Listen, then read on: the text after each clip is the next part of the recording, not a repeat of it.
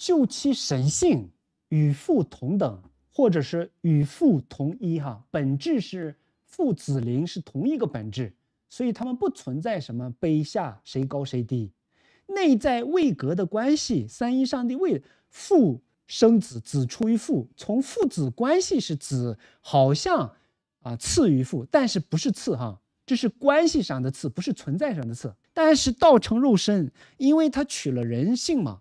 道成肉身的基督既有完全的神性和人性，既是完全的神，又是完全的人。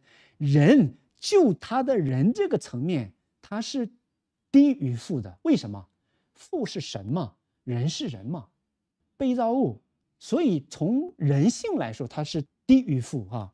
就他的神呢，他与父同等。人性完全跟我们相同，只不过是没有罪，或者是他的承运的方法跟我们不一样。然后他那个所有被造性、人性的软弱都跟我们一样，因此他是低于父的哈，需要吃、需要睡、困乏等等软弱性，人性里面有软弱性，神不存在软弱性，所以人性作为人他是逊于父的哈，这个角度来理解。